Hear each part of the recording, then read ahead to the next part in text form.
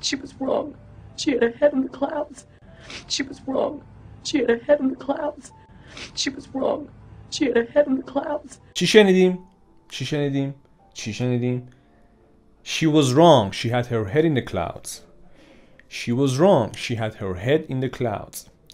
To have your head in the clouds or someone has his head or head in the clouds کله یکی توی ابرا باشه ما دقیقا مدل فارسی داریم تو آسمونا داره سیر می‌کنه با عاشق. اصلا حواسش نیست. یه جوری به معنای احمق بودنه توجه نکردنه حواس پرت بودنه. خب؟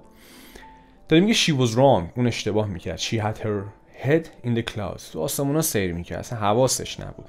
اصلا گیجه. خب؟ گیج می‌زد. تو آسمونا سیر می‌کرد. دقیقا اصطلاحی که ما تو فارسی استفاده می‌کنیم.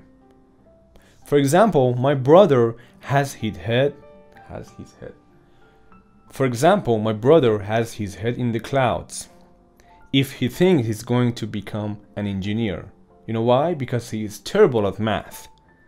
خب میگه که برادر من تو آسمونا سیر میکنه احمقه خیال پردازی میکنه خب اگه فکر میکنه if he thinks he's he's becoming an engineer اون قراره که یک مهندس بشه چرا چون اون توی ریاضی خیلی افتضاحه if he thinks he's going to be an engineer my brother if he thinks that he's going to be an engineer he has his head in the clouds you know why because he is terrible at math میدونی چرا چون ریاضیش افتضاحه پس هیچ وقت نمیتونه مهندس بشه و اگه فکر میکنه قراره یه روز مهندس بشه کلش تو آسمونا داره سیر میکنه Bad enough your father's head is in the clouds, but not you too, okay? Not you. It doesn't help that he has his head in the clouds.